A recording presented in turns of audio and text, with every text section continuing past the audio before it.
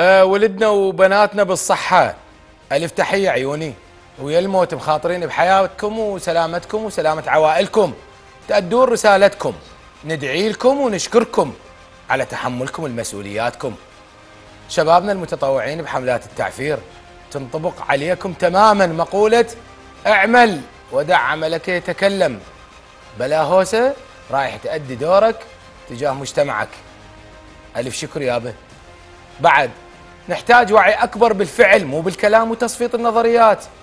من تحس بيك أعراض الكورونا روح بلغ الجهات المعنية حتى على الأقل تحمي أهلك والقريبين عليك وتجنب المجتمع كارثة العدوى. لأن هذا واجبك تجاه الإنسانية أولا وتجاه أبناء بلدك ثانيا. مو النهار كله ثابرنا بالوطنية وحب البلد وأنت من تعطس مرتين تختل. شو أقول لك خاف يحجروني والقريبين عليك من يسألهم الطبيب. نص الرواية عن حالتك الصحية مو صحيحة. والسؤال من تكذبون على دوائر الصحة راح تشترون صحتكم مثلا؟ لو عبالك كورونا ألف ملزوق وتمشي عليهم وتفلت. إخوان هاي صحتكم وحياتكم. يعني لازم تشرح حالتك الصحية مثل ما هي حتى يقدر الطبيب يساعدك. أما غير هذا فابشروا بكارثة. ما صايرة تقول له كنت مسافر. يقول لك لا والله ما مسافر. وتالي يطلع قبل أسبوع جاي من إيران. والنتيجة موظفين وأطباء ونص اهله بالحجر. لا تسووها إذا متوا فلا نزل القطر. خلونا نصير جسور للحياة. مو؟ هالقد آه، ما واحد يحس بالمرض يراجع للجهات المعنية. والله شاف المعافي. مو؟ هذا رصدنا الأحاديث العراقيين اليوم وبأول الملفات. كوارث نافذة وموازنات عاجزة.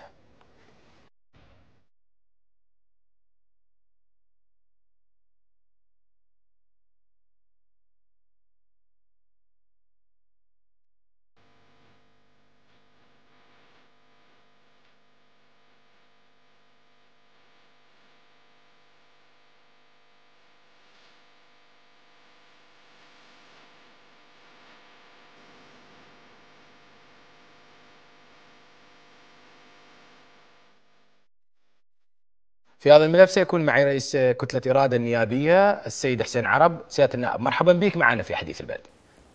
أهلا وسهلا مرحبا.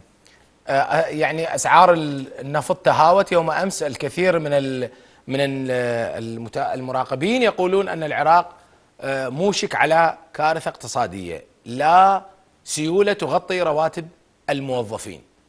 ما هي الرواية الحقيقية؟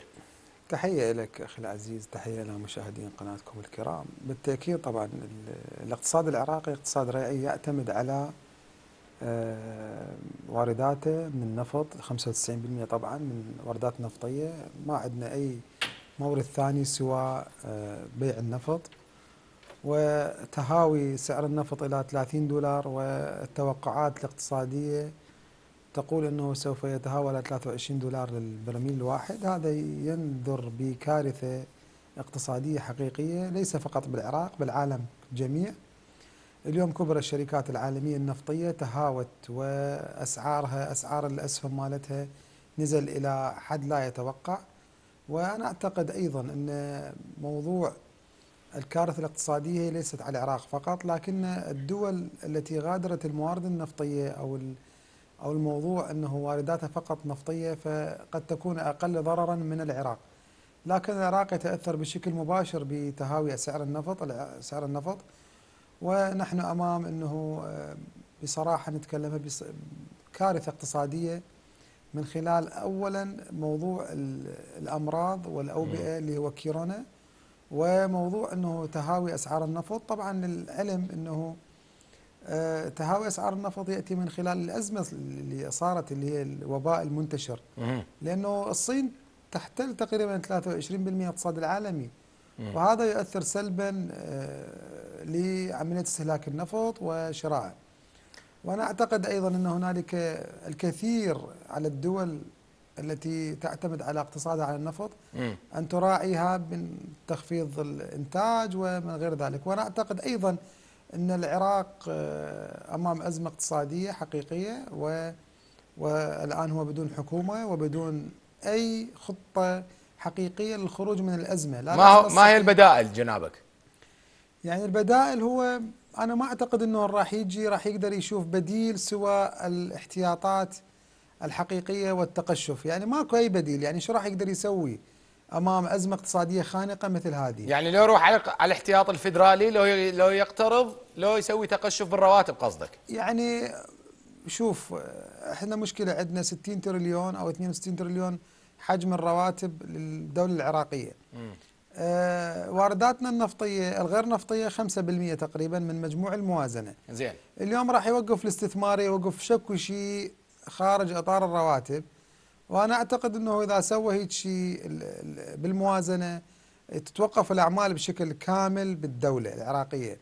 ولغاية شهر السابع إنه هل يوجد إنه إذا استمر السعر على نحو 27 دولار أو 25 دولار للبرميل واحد إذا استمر هذا السعر شلون راح نقدر نغطي وإحنا أصلا الموازنة مالتنا قرناها على تقريبا 54 دولار لل- للبرميل الواحد طيب العجز من ينسد ممكن هنا؟ توضح لنا. هو إحنا عندنا 51 تريليون عجز بدون انخفاض أسعار النفط. زين. إذا صار أسعار انخفاض أسعار النفط إحنا راح يصير عندنا عجز بالرا بتعويضات الموظفين. يعني إحنا نحكي لك إنه أكو التزامات مالية أكو عندنا آه، قروض نسدد فوائدها. وهاي بالموازنة العامة ل 2020 لحد ما وصلتنا وهاي طبعا أسبابها كبيرة إنه آه، إحنا ما عندنا حكومة لحد الآن. علينا المضي مسرعين لتشكيل حكومة بأقصى سرعة حتى يتمكن آه، من تشكيل كابينته الحكومية ويتدارك الأمور بأمور اقتصادية. جيد أن تكون هناك آه، أزمة مثل التي يمر بها البلد ويكون هناك رئيس حكومة ووزراء حتى يستطيعون أن يعني يعالجون تبعات وآثار هذه الأزمة. ولكن هناك من يعتقد أنها ليست العقدة على اعتبار أن أي رئيس وزراء ممكن أن يأتي لا يستطيع أن يعالج هذا الخلل، من يجيب يعني؟ هو اقتصاد ريعي درجات وظيفية أيضا أضيفت بالآلاف إلى الموازنة. السؤال هل الدولة ستكون عاجزة عن سداد الرواتب؟ وهل هناك سقف يعني بعد شهر بعد شهرين؟ لو على السنة الجديدة. يعني الدولة عاجزة عن سداد الرواتب؟ لا لأنه أنت دا يجيك يعني وارد آه، من بيع النفط. لكن العجز يكون بك أنه نقدر نعوض كامل الراتب؟ لا ما أعتقد. يعني خلال الأشهر الشهر السابع أو الثامن بنفس هاي السنة إذا إذا تحسنت الظروف وقفز سعر النفط وأن هذا الدلالات اللي عندنا الاقتصادية تقول أنه ان- انهيار كانهيار 1929 طبعا. انهيار اقتصادي بالعالم كله كالانهيار اللي حصل في سنة 1929 وأنا أعتقد أيضا أنه آه، موضوع الاقتصاد العراقي مرتهن بسياسة الدولة وعملية إدارة الموارد بها يعني اليوم العراق يمتلك الكثير من الموارد غير النفطية لكن لحد الآن وعلى مدى 16 عام أو 17 عام لم تستغل هذه الموارد بشكل حقيقي. هناك من يقول عفوا مداخلة هناك من يقول أنها ربما تكون ضارة نافعة على اعتبار أننا سنجبر آه، كدولة عراقية بكل يعني قطاعاتها المختلفة بالتوجه إلى الإنتاج المحلي. هل نحن الآن مهيئين للذهاب إلى الإنتاج المحلي ودعم المنتوج الوطني واستخدام المواد الأولية المتوفرة؟ أستاذ صلاح اولا ما عندنا غير خيار. الإنتاج المحلي والذهاب إليه وحماية المنتج العراقي والزراعة والزراعة الصناعة الزراعية كل هذا لازم نحطه بحساباتنا ونمضي مسرعين به. لأنه اليوم العراق آه، أول انكسار اقتصادي راح يواجه الدول العالم كلها كل دول العالم عندها احتياطات. ممكن شركات تخسر ممكن شركات تفلس لكن العراق هو من سيفلس العراق كدولة. اثنين العراق ب- بقروض آه، وتسديدات أرباح هذه القروض. ال- هذا الموضوع لازم إحنا نسدده وننطيه. ممكن إنه آه، نتفاهم مع الدول الدائنة. ممكن بس المشكلة أنت عندك ال- الراتب الموظف ما تقدر تغطيه من خلال مبيعاتك للنفط. لأنه أنت اليوم 62 أو 63 تريليون دينار عراقي حجم الإنفاق لتعويضات الموظفين. وهذا أعتقد بحد ذاته مبلغ كبير. يعني اليوم آه، 12 أو 13 تريليون دينار عراقي هو الراتب الإسمي وتقريبا اثنين أكثر من 40 تريليون هي المخصصات. أنا أعتقد إنه علينا مراجعة حقيقية لموضوع الرواتب. وأيضا علينا مراجعة عملية إدارة الدولة والاقتصاد العراقي. خيار و... الذهاب عفوا آه، آه، جناب النائب. خيار الذهاب إلى يعني تغطية رواتب الموظفين من الاحتياط الفدرالي ما هي الخطوات التي يحتاجها مثل هذا القرار لاحقا بعد شهرين أو ثلاثة أشهر؟ يعني خيار الذهاب إلى أخذ من الاحتياط العراقي أصلا مشكلة يصير عندنا لأنه هذا هذا الاحتياط العراقي هو سند حقيقي لقوة الدينار العراقي. وهذا يعتمد على على أشياء كثيرة. وأنا أعتقد يعني إحنا ما عندنا غير خيار غير الذهاب إلى الاحتياط العراقي وتغطية نفقات الرواتب. وبالنسبة انه يعني الوقت هو مو مزاحم وأنا أعتقد إنه عندنا الوقت الكافي لعملية إداري إدارة حقيقية واستغلال منافع موارد الدولة بشكل جيد وأيضا آه، علينا أنه نقلل من النفقات للدولة وكل ما آه، تصرف الوزارات بأي صرف كان حتى حتى نمضي ب بموازنة آه، خلي تكون نكون تقشفية خلاص يعني رايحين واحد من الخيارات تقشف. طبعا هو مو رايحين هو رايحين يعني مجبر أخاك لا بطل. مجبرين على أنه نذهب إلى موازنة تقشفية لا آه، يكون بها فقط دفع الرواتب فقط. حتى تقدر الموظفين مالتك تقدر تخليهم يمضون بحياة حقيقية. لأن هو عنده كل موظف بالعراق عنده آه، قائمة مالية هو معتمد على ما يتقاضاه من الحكومة ويذهب إلى إلى نفقاته الشخصية. طيب الآن كسياسيين الآن تتولون إدارة الدولة سواء في البرلمان أو في الحكومة إذا ما تم تسميتها أو في مفاصل الدوائر التابعة للحكومة. هل أنتم على استعداد إلى مكاشفة الشعب العراقي بجردة الحساب التي تتحدث عنها الآن سيادة النائب بهذه بهذا الوضوح؟ أسعار النفط انهارت ليس بالإمكان تغطية رواتب الموظفين إلا للأشهر الثلاث المقبلة أو الأربع المقبلة كما تفضلت قبل قليل. يعني هو ما بمكاشفه هو اليوم المواطن العراقي يعني مو شغله إنه أنت مين تعطي راتب، المواطن العراقي مطيق زمام أمور دولة. وتدير الدولة أنت والحكومة وإذا كنت غير قادر على أدارة الدولة فتنحى عنها واجعل غيرك يقود الدولة والحكومة حتى يستطيع إنقاذ العراق وإنقاذ هذا الشعب المظلوم. أنا أعتقد أيضا إنه علينا آه، كسياسيين المضي بأن يكون هنالك من يقيد الدولة هو ال الذي يفهم بالاقتصاد. اليوم إحنا ما عندنا حرب مع داعش حتى نجيب قائد أمني ولا عندنا صراع مع باقي الدول حتى نسوي عسكر. اليوم علينا أن نأتي بشخص اقتصادي ويعظم موارد الدولة ويستغل كل شبر من آه، عقارات الدولة البنى الصناعية آه، بناء الدولة آه، آه، استثمار إيجاراتها والذهاب بعملية استثمار توفير وظائف للمواطنين من خلال الاستثمار ومن خلال فتح مشاريع صناعية من خلال استثمار الأموال للدولة المخزونة اللي هي ما عندنا بها أي يعني ما عندنا بها صار 16 أو 15 سنة ما عندنا أي أي حركة لهذه الأموال. جيد هذا هسه الكلام اللي سمعه سيادة النائب. آه، يعني كلام نتفائل به وهذا كلام يتداول إنه نعتمد على خيارات بديلة. ولكن الكتل السياسية التي لا تتفق على رئيس الوزراء منذ أشهر عدة بداعي حسب ما قال رئيس الوزراء المكلف الذي لم ينجح في تبرير كابينته أنه تعرض للابتزاز في قضية المحاصصة.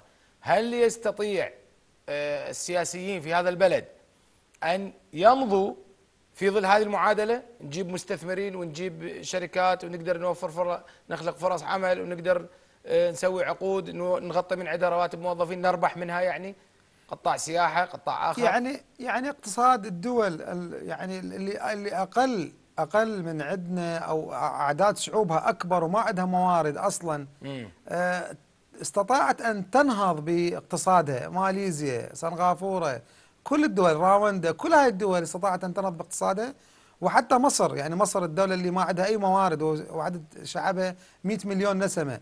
إحنا ما وصلنا لا ل 100 مليون ولا ما عندنا موارد. عندنا موارد والموارد كبيرة وكثيرة في كل بقعة في أرض العراق. أنا أعتقد أنه العراق يمتلك أنهر يمتلك سياحة دينية يمتلك معادن يمتلك غاز يمتلك نفط يمتلك زراعة يمتلك صناعة يمتلك طاقة بشرية أهم من كلها. شعب كله شباب.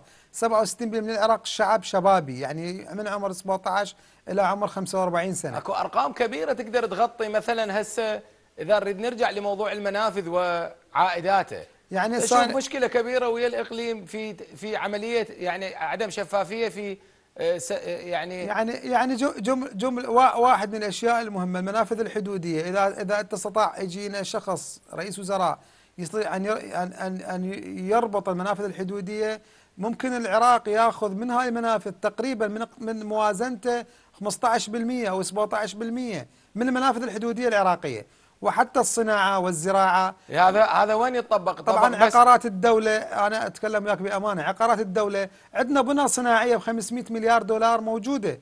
بنى صناعية تمتلكها وزارة الصناعة. ب 500 مليار دولار. هاي ممكن استغلال. هذا آلية التطبيق. هذا هسه مال المنافذ الحدودية. خلينا ناخذه مثال. نعم. هذا تجيبه تطبقه على البصرة والعمارة وبعدين إقليم كردستان ما ينشمل بيها يعني؟ لا ليش ما ينشمل؟ إحنا إحنا ضمن حكومة اتحادية. آه، أخي العزيز أستاذ صلاح أنت بالإمكانك إنه تعمل بشكل موحد. هم الأخوان دا يأخذون موازنة من العراق من الموازنة الاتحادية. عليهم الالتزام بكافة قرارات الحكومة في بغداد. وأنا أعتقد إنه أكو أكو تفاهمات آه، صارت قبل سنة ولحد الآن جارية التفاهمات.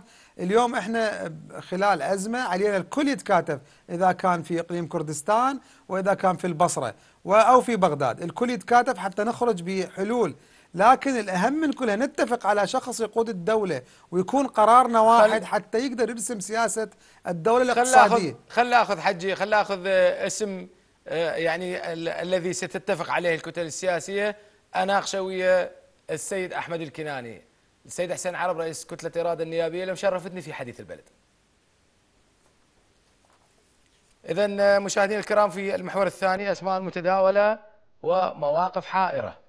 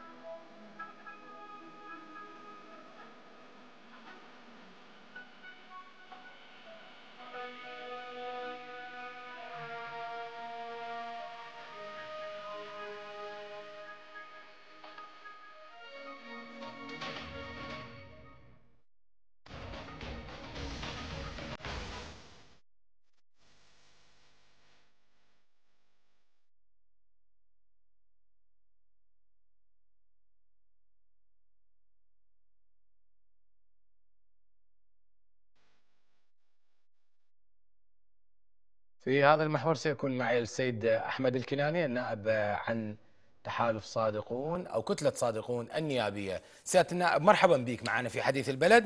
هل هناك توافق على آه، أسماء قريبة يمكن اختيار آه، شخصية منها لقيادة البلد في ظل هذا الظرف الذي نمر به كوارث صحية وكارثه اقتصادية؟ نعم تحية لك والمشاهدي قناتكم الكرام. أه، صراحة توجد هناك لقاءات ومشاورات ما بين زعامات الكتل السياسية وأيضا الشخصيات الفاعلة في العملية السياسية.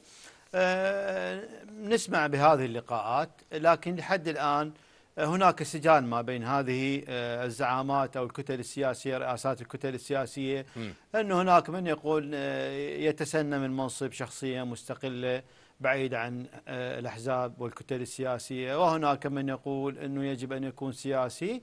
على- ب- بالمحصلة آه، ال- ال- الخلاف أو السجال ما زال مستمر آه، آه، حول أو المع- المعيار لاختيار الشخصيات هذه. آه، لكن آه، بصراحة اليوم آه، أعتقد البلد يمر في كثير من الأزمات. وقبلها هذه المشاكل الم- المشكلة السياسية والمشاكل الأمنية والاقتصادية واليوم مشكلة صحية تواجه البلد. وفي ظل هذه التحديات أعتقد أو المشاكل يحتاج جهد مكثف من قبل هذه القيادات آه، للتشاور آه، واللقاءات من أجل حسم الموضوع بأسرع وقت ممكن. آه، مضافا إلى أو إذا نظرنا أيضا هناك تحديات داخلية وخارجية وأعتقد يجب أن تكون الشخصية اللي تتسنم رئاسة الوزراء. طبعا تعرف حضرتك اليوم الكل متفق هي مؤقتة وتكون خلال سنة من أجل إجراء انتخابات مبكرة ولكنها, ولكنها لم تمرر حكومة يعني كابينة علاوي محمد توفيق علاوي رغم أنها مؤقتة ولم تكن لها سوى مهمتان يعني الإشراف على انتخابات مبكرة. طبعا الوضع مختلف. على اعتبار السيد, السيد علاوي هو ألزم نفسه بتعهدات و واحدة من التعهدات اللي فشل بها أنه تعهد أن يكون الكابينة الوزارية بعيدة عن تدخلات الكتل السياسية. لكن عندما جاء آه، أعلن آه، السير الذاتية لمرشحين آه، فوجئنا أنه كثير من هذه الشخصيات هي تم ترشيحها. من قبل شخصيات وكتل سياسية فبالتالي ما مشى الحال لهذا أو ما مشى الموضوع لهذه الأسباب. كنت مضافا مضافا اذا تسمح لي مضافا إلى أنه أيضا كان تعاطي سلبي مع مجلس النواب. وكذلك تعرف إحنا اليوم نريد من نطلع من مشكلة ما ندخل بمشكلة أخرى خصوصا بعد السجال أو المناكفات بينه وبين آه، الأخوة آه، في المكون السني والكردي. هسه هم محقين أو هو محق مو هذا الموضوع إحنا مو نقاشنا. لكن لهذه الأسباب لم يتم آه، أو أخفق السيد علاوي في أن تحصل كابينته على مقبولية من قبل مجلس كنتوا تنتظرون أن يحتوي المكون الكردي والمكون السني؟ من خلال التفاوض معاهم وجرهم إلى منطقته. مو يسبب لكم عقدة جديدة بالضبط في العلاقة. بالضبط. تعرف حضرتك أرجع واقول إحنا نريد آه، من خلال آه، بعد إنه استقالت حكومة السيد عبد المهدي م. وتم اختياره من خلال التوافق ما بين الكتل السياسية وحتى يعني صح اليوم الموضوع يقال إنه موضوع شيعي لكن أيضا عندما تم اختياره استشيرت الكتل السنية والكردية بالموضوع وتمت الموافقة فبالتالي إحنا نريد نخرج من أزمة. هو ما يدخلنا في أزمة أخرى. من, من الذي يضمن عفوا سيادة النائب نعم. من الذي يضمن أننا في هذه المرحلة الآن وفي المواصفات التي تتحدثون عنها عن رئيس وزراء مقبل أننا لا نقع في نفس الإشكالية مع السيد محمد توفيق علاوي؟ يعني من يضمن أننا لا نقع في ذات المشكلة التي تشير إليها؟ صراحة لا يوجد ضامن على اعتبار أنه تعرف حضرتك اليوم هكو آه، نقاشات أو لقاءات ما بين الكتل السياسية وأيضا يعني خلينا نتكلم بصراحة إحنا إذا نريد نحل مشكلة لازم نكون شجعان ونشخص المشكلة. اليوم أعتقد الأخوة في سائرون لم يتدخلوا في هذه النقاشات. مجرد رسائل بينهم وما بين هذه الزعامات. وأعتقد هذا مراحل الموضوع ينحل بهذا الشكل. على اعتبار يوم الأخوة في سائرون لديهم آه، وجود معتد به في مجلس النواب وكذلك لديهم آه، جمهور واسع يفترض يفترض من هذه الكتل السياسية أن تجلس سوية وتتسامع عن ما آه، خلافاتها أو في الخلاف في وجهات النظر يجب أن يتوحد من أجل مصلحة أبناء الشعب المفترض أنكم سياده النائب. نعم. المفترض أنكم في الفتح آه، موقفكم ينسجم يعني هكذا من الم... هكذا نفهم ينسجم مع السيد هادي العامري الحج أبو حسن على اعتبار أنه هو تولى آه، قضية التواصل مع السيد مقتدى الصدر. لتسمية المرشحين للحكومة سواء سيد عادل أو نعم. سيد علاوي نعم أكيد أكيد اليوم السيد هذا العامري أكيد هو رئيس أو زعيم تحالف الفتح فبالتالي لديه لقاءات ومشاورات لكن أنتم موقفكم يمثله هو ولا لا؟ أه، تعرف حضرتك اليوم هي العقدة مو يم السيد هذا العامري أستاذ أحمد السؤال عفوا أنا يعني مداخلة نعم نعم مواقف السيد هذا العامري هل تمثل كل الفتح؟ أه تقريبا يعني تقدر تقول أه إنه يمثل الفتح في في الوقت الحالي أو الحاضر. أه لكن هي المشكلة أعتقد هي مو من السيد هادي العامري. على اعتبار رجل لديه مقبولية من قبل الجميع ويتمتع بعلاقات جيدة أيضا مع الجميع. م. اليوم تعرف حضرتك لو كان الأمر متعلق به هو دائما يعطي ولا يأخذ. فأعتقد اليوم اليوم الرجل السيد هادي العامري أنه يمارس أو يستثمر مقبوليته من قبل الجميع هذه الكتل السياسية ويمارس دور الوسيط أو يحلحل هذه المشاكل من أجل توحيد الرؤى ما بين هذه القوى السياسية والذهاب باختيار مرشح. ارجع واقول يعني هناك آه، آه، هدف أو آه، لهذه الحكومة اللي هي الانتخابات المبكرة واستتباب الملف الأمني وإلا يعني حتى السيد عادل عبد المهدي عندما قال إنه 20 أو 2 عفوا 4 12 2020 انتخابات مبكرة وتناسى إنه اليوم الوضع الأمني غير مستقر في كثير من المحافظات أيضا فقدان الثقة ما بين المواطن العراقي وهذه الطبقة السياسية. ما أعتقد الأمور اليوم ممكن أن تجري بهذه السهولة مثل ما عبر عنها السيد عبد المهدي. لا اليوم إحنا يحتاج لنا آه، من آه، رئيس الحكومة الجديد بعد أنه يحوز على مقبولية من قبل مجلس النواب العراقي آه، أنه يكون هناك عمل تضامني ما بين هذه الكتل السياسية وما بين رئيس الوزراء من أجل حلحلة هذه طيب. المشاكل الآن والخروج من هذه الأزمة نتمنى جميعا في العراق أن نخرج من هذه الأزمة ويتم الاتفاق على رئيس وزراء يعبرنا المرحلة الانتقالية نعم. هناك من يقول أن المشكلة الأساسية هي في خلاف شيعي شيعي بيناتكم سيادة النائب مختلفين آه والآخرين المكونات الأخرى الكرد والسنة استثمروا في هذا الخلاف ولن يقبلوا بتمرير من لا يريدوه أو لا يرضخ لهم. قصدك ب... ب... عندما تم ترشيح سيد علاوي؟ وهذا موقف ينسحب حتى على الأسماء الأخرى. لا لا شوف ال... الوضع مختلف. مو قلت لك اليوم السيد علاوي مو مو أنا أريد تقول لي ليش مختلف وراح تخليني مضطرا أسألك. لا هسه جايك هسه انت ليش تضطر؟ أنا أجاوبك. ولا جاوب. تضطر يعني اخذ راحتك أنت. يلا. آه. بالنسبة للسيد علاوي صراحة قلت لك اليوم هو آه تعهد إنه يكون كابينته مستقلة. قلت لك من عرض السيفيات أو السير الذاتية هناك تدخلات واضحة من قبل الكتل السياسية لاختيار م. هذه الشخصيات فبالتالي اليوم ما أغلب القوى السياسية هي رفضت مضافا إلى أن هناك حقيقة مشكلة وللأسف الشديد هذه المشكلة ألقت بظلالها م. على آه، أنه آه، خصوصا المشكلة ما بين السيد علاوي و دولة القانون أو السيد المالكي أيضا هذه ألقت بظلالها على موضوع حكومته هذه الخلافات صراحة يجب أنه اليوم أنا إذا عندي خلاف وياك لكن من أجل المصلحة العامة من أجل مصلحة البلد من أجل آه هذه الدماء التي سالت أعتقد يجب أنه نترك الخلافات جانبا ونذهب آه ونخرج البلد من هذه الأزمة الخانقة لا سيما لو أن ننظر أي. اليوم إحنا يوم بعد يوم الأزمات تزداد وخصوصا موضوع الأزمة المالية اللي يمر بها البلد بسبب المشاكل الدولية وبسبب هذه الأمراض. أعتقد اليوم إحنا في وضع لا يحسد عليه. شنو الدور اللي لعبه آه، اللي أداه آه، الوفد الإيراني الرفيع الذي زار بغداد والتقى العديد من القيادات؟ هل كان له دور؟ هل كان له تأثير في قضية الدفع باتجاه التوافق على شخصية يعني تتولى رئاسة الوزراء؟ طبعا تعرف حضرتك في السنوات أو الحكومات السابقة عندما يتم تشكيل حكومة وهذا واضح لكل أبناء الشعب العراقي يعني مو جايبان جديد أو أو معلومة وإنما هو واضح إن هناك تدخلات إقليمية ودولية وهذه التدخلات حسب يعني نسبتها تصعد وتنزل حسب الظروف. لكن إحنا اليوم أعتقد نمر في ظرف استثنائي واليوم كل أبناء الشعب العراقي مو بس اللي يظاهرون كل أبناء الشعب العراقي هم ممتعضين من هذا الأداء السيء لهذه الكتل السياسية. يحتاج هذه الكتل السياسية أن تعي خطورة المرحلة. ما عاد أبناء الشعب العراقي يتحملون وحتى موضوع إحنا من نشير اليوم اجى وفد امريكي أو إيراني أو تركي أو سعودي. آه هذا حقيقة هم ما عاد يتقبله حتى لو كان دور إيجابي. على القوى السياسية ان تعي خطورة المرحلة؟ من ما يتقبله الشارع لو أنتم كطبقة كفاعلين في العمل السياسي. عزيزي عزيزي أنا أتكلم بشكل واضح وصريح. مهما كان التدخل من أي دولة سواء كانت إقليمية أو غير إقليمية اليوم هذا التدخل مرفوض. وحتى لو كان التدخل إيجابي أو على يعني خلينا نقول كأنه نصيحة معينة. اليوم أقول لك إحنا أبناء الشعب العراقي مو قاصرين.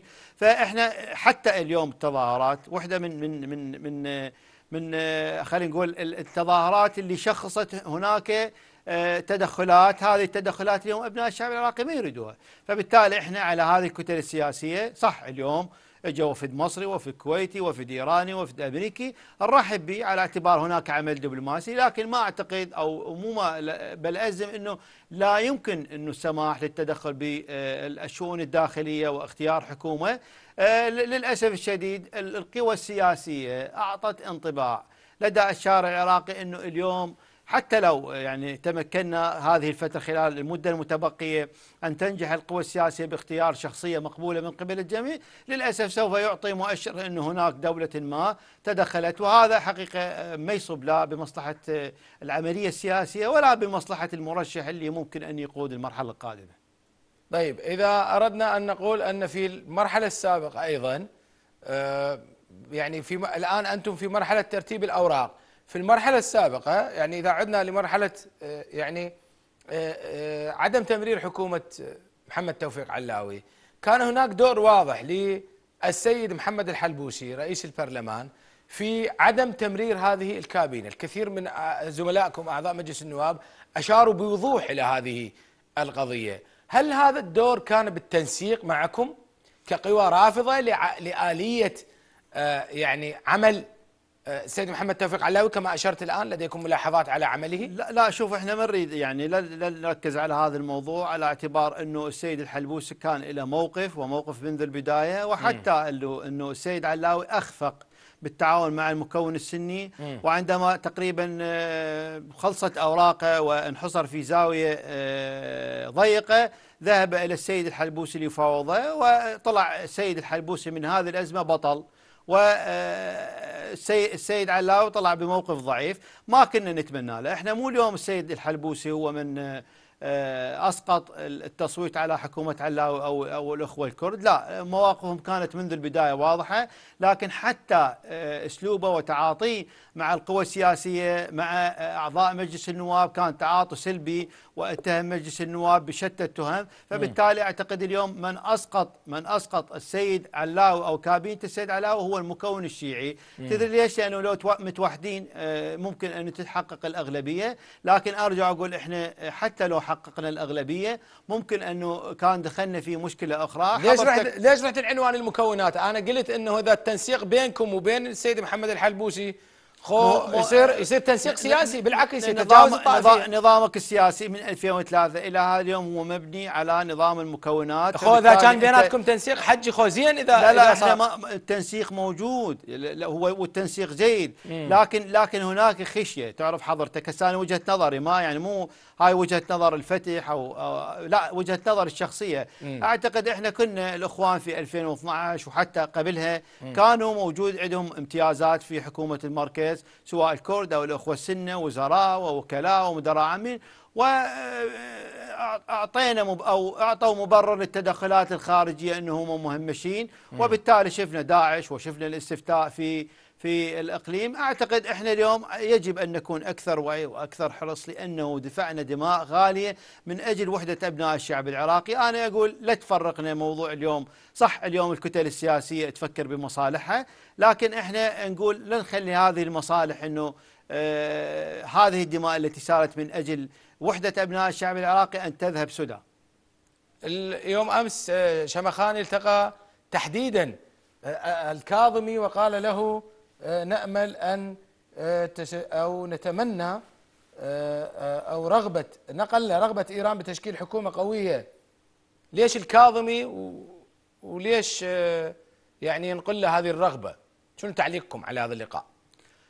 طبعا هسه أنا ما أريد أذهب يعني بسوء الظن كما يعبرون. أعتقد على اعتبار إنه اليوم كل كل الدول الدول الإقليمية والدول المجاورة وحتى الدول الأخرى هي تتمنى أنه يكون هناك استقرار في العراق لأنه استقرار العراق هو استقرار المنطقة. وهناك يقال أنه هاي رسالة أنه اليوم الجارة إيران هي راضعة الكاظمي. لا هو ما أعتقد على اعتبار أنه اليوم هو اجى وفد زائر يحمل رسائل معينة إلى هذه القوى السياسية أو حتى حتى الحكومة العراقية بالتحديد. أه وباعتبار هو جزء من من من آه، اليوم اليوم يتسنم منصب ومكان مهم هو آه، جهاز المخابرات. فأعتقد يعني خلي نقول آه، يعني إذا يريد هم يتحدثون هناك أمور أمنية. وكذلك الوضع السياسي اليوم واضح وألقى بظلال على كل كل المشهد آه، العراقي سواء الصحي أو الأمني أو ال- الاقتصادي.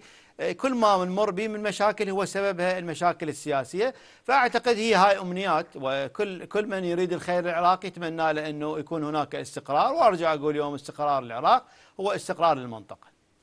حياك سيادة النائب أحمد الكناني النائب عن كتلة صادقون. اليوم شرفتني في حديث البلد حياك الله حبيبي. هذا السؤال الأخير ترى داز لك اياه يعني. خلينا نشوف بعدين تبين. شرفتنا شكرا لك. حياك الله. في المحور الثالث آه، مشاهدينا الكرام ملفات فاسدة وإجراءات معقدة.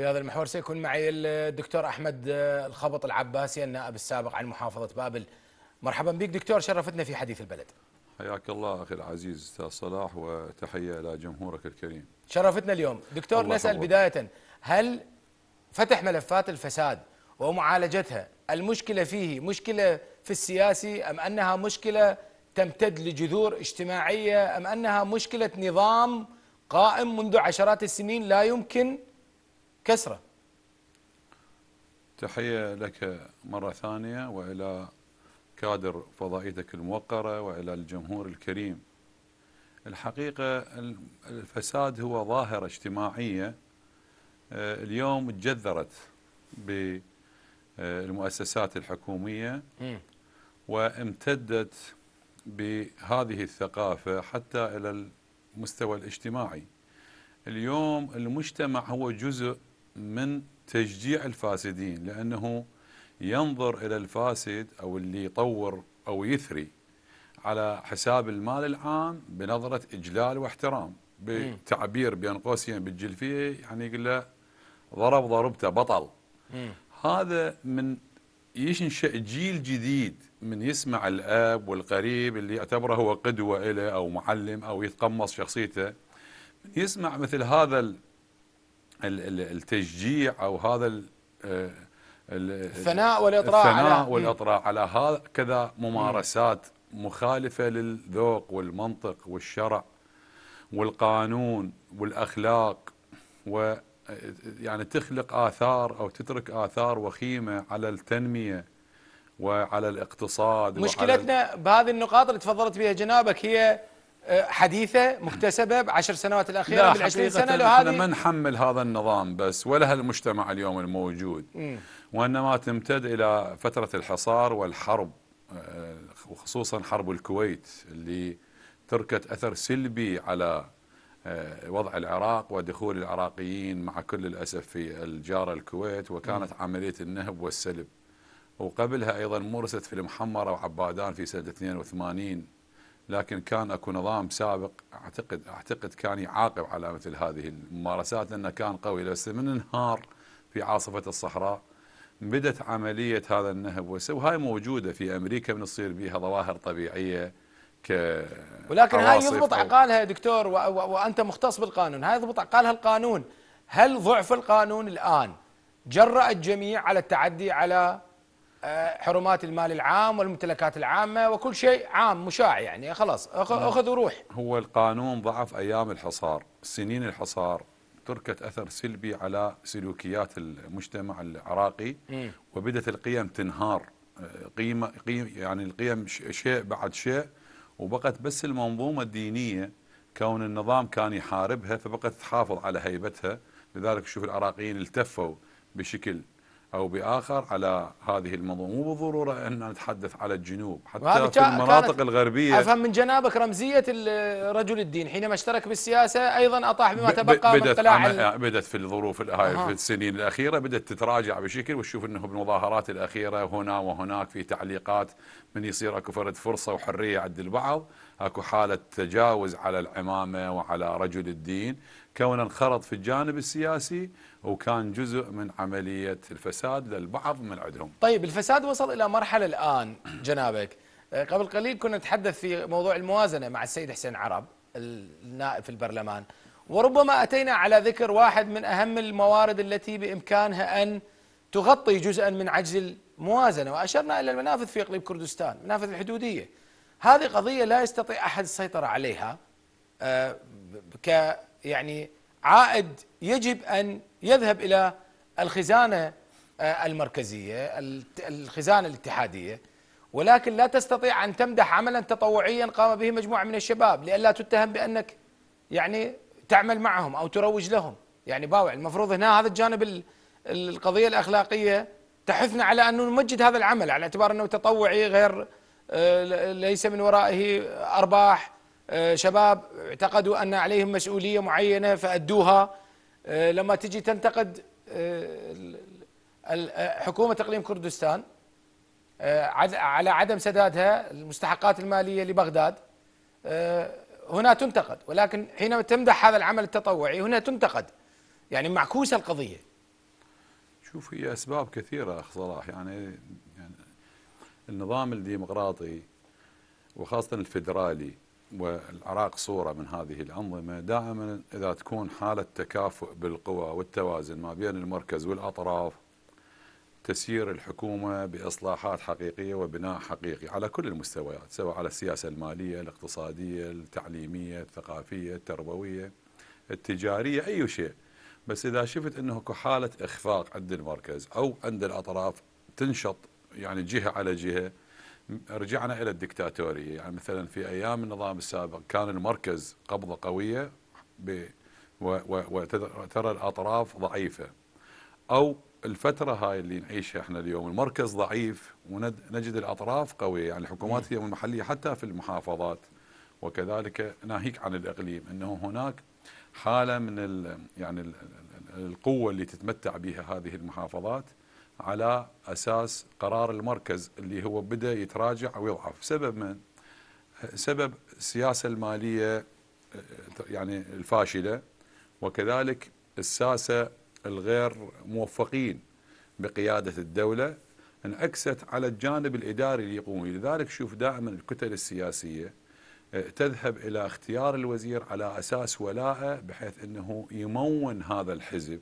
أو ذاك تلك الكتلة الكتلة السياسية بما يستطيع ما يحصل عليه من مال من الوزارة المعنية اللي يتم الاستحواذ عليها من خلال تقسيم هذه الوزارات على أساس آه، ال- ال- التواجد أو يعني المقاعد عدد المقاعد في ال- البرلمان. فبهذه الثقافة نجد أنه هذه هذه هذه هذه الثقافة وهذه الأساليب وهذه الممارسات والأفعال تؤدي إلى الحالة ال- يعني التراجع بالإدارة وعدم احترام ال- ال- ال- ال- المركز وقرار المركز من الأطراف. بينما بالمقابل نجد حتى المحافظات للتو اللي خرجت من آه، هيمنة داعش في مقدمتها الأنبار نجد إنه القيادة الموجودة اليوم والحكومة المحلية الموجودة المتمثلة بالمحافظ اليوم ومدراء الدوائر المعنية من قائد شرطة وغيره هم أقوى بالقرار من المركز. لذلك نشوف أنه أكو حالة إقدام ويعني آه، تصميم يعني إقدام وتصميم على بناء وإصلاح حقيقي. لذلك يشوف أنه المحافظة خلال سنة هناك رضا من الجمهور على أداء الحكومة المحلية بينما إذا من يتوجهون إلى بغداد إلى المركز اللي ما يبعد عنهم 80 كيلو تشوف إنه أكو حالة عدم ثقة في حكومة مو المركز. استهلك المركز في معالجة الأخطاء أو ال- ال- المشكلات التي حصلت في المناطق التي تشير إليها؟ طوال موصل- 15 سنة؟ يعني الصراع ما بين يعني. استنفذ المركز في المشكلات التي طبعا حدثت هناك امنيا المر- المركز مو وسياسيا. مكانه أستاذ صلاح وإنما المكونات والصراع اللي يكون ما بين المكونات مرة ما بين الكتل السياسية المنضويه تحت اسم المكونات يعني المكون الكردي، المكون السني، المكون الشيعي. أو اليوم على أساس الانقسام الحزبي يعني اليوم الحزب الكتلة الوحدة أو الحزب الواحد تجد به انقسامات ولاحظناها. زين. وحتى في الشارع نجد انقسامات حتى في على مستوى المظاهرات اليوم اللي كنا نتمنى أن تكون براية واحدة وبهدف واحد وب آه، شعار لاحقا واحد. هسه إيش تبين؟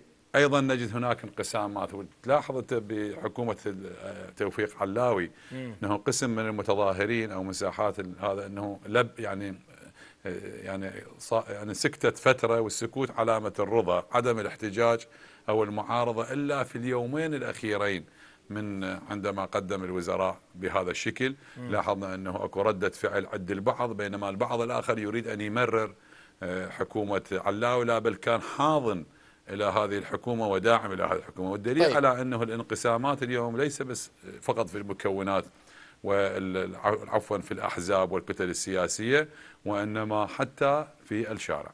طيب هناك ملفات يعني عودا على بدء الحديث مع جنابك دكتور.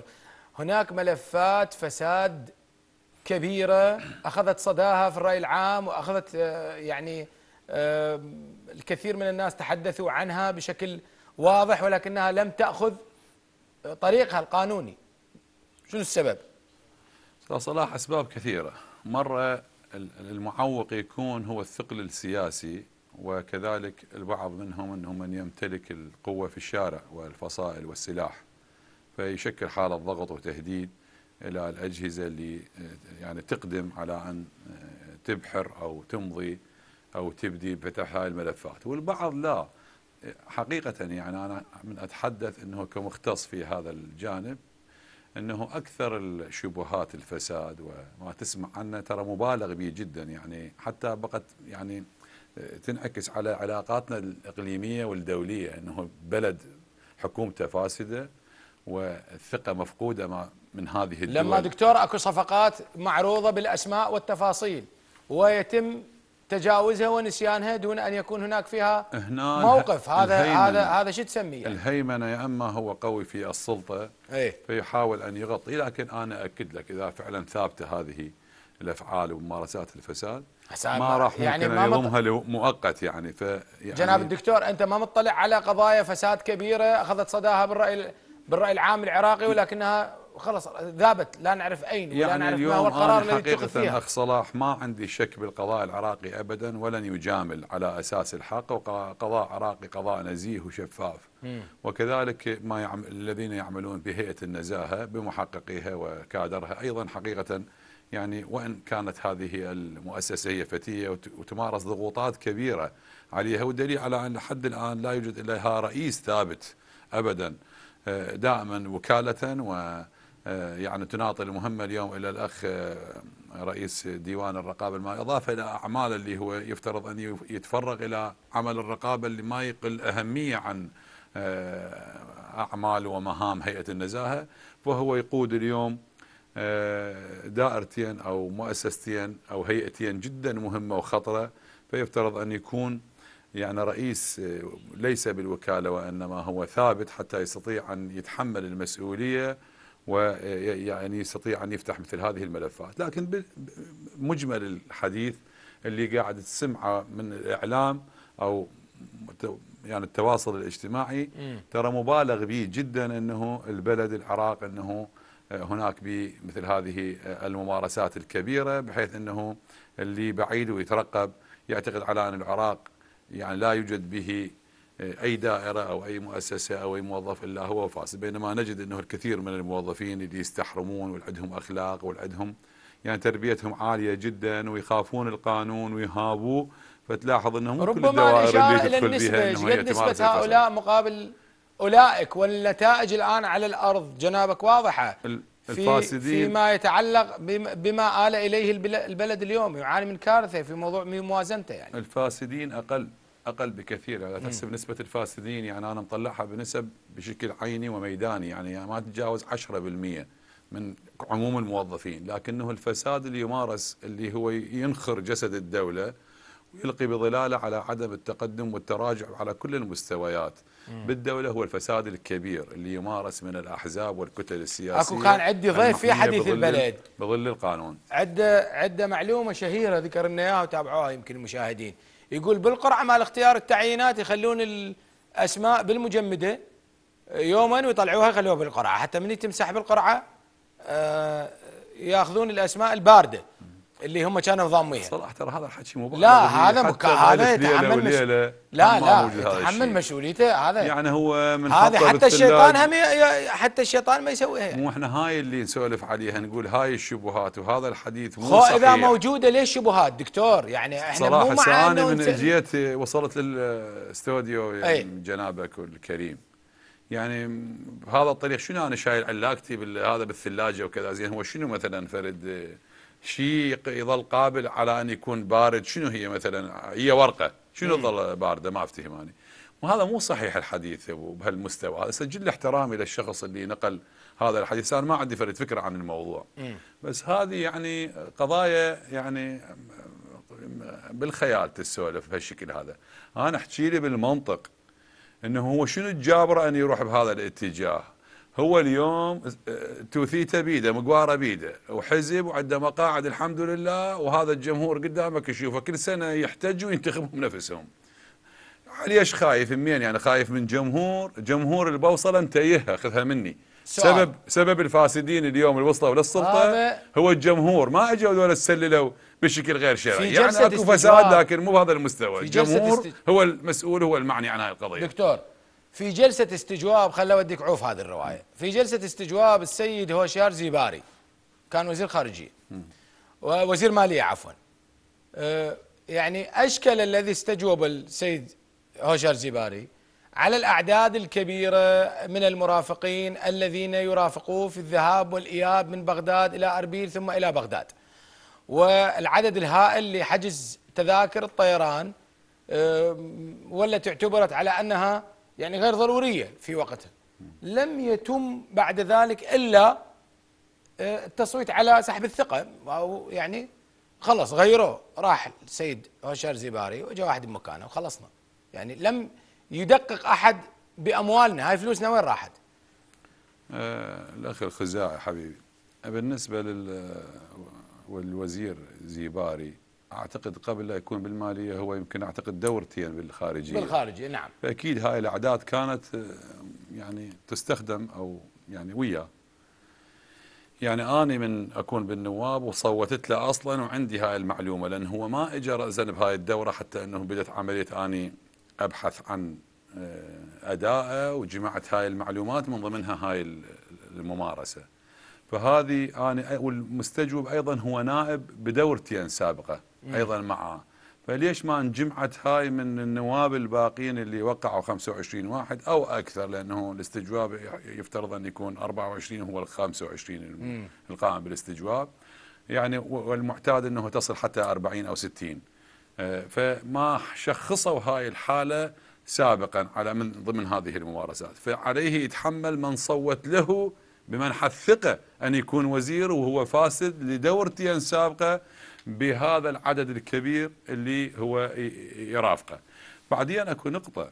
اليوم عادل عبد المهدي وغيره عندهم أفواج دولة كاملة 750 كل رئيس وزراء وكل نائب رئيس وزراء وكل رئيس جمهورية وكل نائب رئيس جمهورية ذولا يتمتعون بهاي ال 750 فهو كافين عليه خمسة وروح 50 الباقي يوزعهم إلى اصدقائه وإلى أعوانه وإلى إيه، هذا مكاتبهم مو فساد هسه بغض. النظر إحنا ما وجهنا. أكمل لك. فذول اللي عند هشار احتمال جماعة مسعود اللي عنده من كان هنا يتمتع كرئيس إقليم أو ك بمجلس الحكم هسه وغيره تذاكر طيرانهم اندفعت كانوا عند مسعود ولا كانوا عنده؟ تذاكر القصد- طيرانهم اندفعت من فلوسنا. آه، هسه ما عندنا ندفع الرواتب إحنا. هاي المصيبة اللي واقعين بيها. كانت هي بس هشار هي إذا تحسبها بهذا الشيء أنا ما قلت الكثير. أنا جبت نموذج اجى في بالي. إيه، أنا دا أقول. إنه الفساد موجود آه، إلى 100 باب يعني. إحنا لا تحسب هذه الأشياء خوب كثيرة من جيد. هذا النماذج الفضائيين إذا- وغيرها. إيه. بس بالنتيجة إذا أكو قانون نرجع لكلامك الأولي وسؤالك اللي إحنا ما لحقنا نجاوب عليه ولا راح نلحق نجاوب عليه. زين. ما دام يضعف القانون من أمن العقاب ساء التصرف. والعقاب غير حاضر. والأجهزة هاي اليوم الموجودة غير كافية وما تتمكن أن تحاسب أو تحارب أو تكافح فساد اللي هي متمثلة في هيئة النزاهة والرقابه المالية. وكان من المفتشين العموميين فاجهزوا عليهم من هم يقومون بالاستجواب للوزراء الفاسدين. هم من أجهزوا وعقروا هذه المنظومة اللي هي موجودة في كل وزارة وما حل لحد الآن محلهم المدعي العام. تتذكر على أن القانون على أن المدعي العام يكون في كل وزارة. قلنا لهم يابا ترى طريقة فاشلة وراح تندمج السلطة القضائية مع السلطة التنفيذية وهذا مو صحيح. وهذا الكوادر اللي إحنا تعبنا عليها وأنشأناها وهيئناها ودربناهم 16 سنة راح ذولا ما نستفاد منه. الموظفين شنو ذنبهم؟ أنت عندك محتج أو عندك معارضة مع مفتش عام تابع إلى حزب. مثلا أو إنه عقليته أو سلوكيته مو صحيحة مو منضبطة. هاي ما تنعكس على باقي المفتشين. هاي منظومة قائمة بكل الدول في إيطاليا في ألمانيا في أمريكا. هي صاحبة الفكرة. ليش هاي تضيعوها فماكو إذان صاغية وإنما كانت عملية العدائية والأحقاد أو إنه يعني حتى يمكنون البعض من هذه الأحزاب يمكنون وزرائهم حتى يستطيعون أن يعني يقومون بممارسات فساد ونهب للمال العام يعني بحرية أكثر لأن يعني من عندما أزال المفتش العام اللي كان رقيب. فاليوم هيئة النزاهة وديوان الرقابه الرقابة المالية وحدهم ذولا كجهازين غير قادرين أن يغطون كل هذه الممارسات شكراً. حتى يهيئون إلى القضاء العراقي أن ينزل أقوى وأقسى العقوبات سواء كان على مستوى محاكم الجنح أو محاكم شكرا. الجنايات. شكرا لك دكتور أحمد الخبط العباسي النائب السابق عن محافظة بابل شرفتني اليوم في حديث البلد. شكرا الله شكرا لك. مشاهدينا الكرام آه، نشوفكم باكر حديث بلد جديد في الله.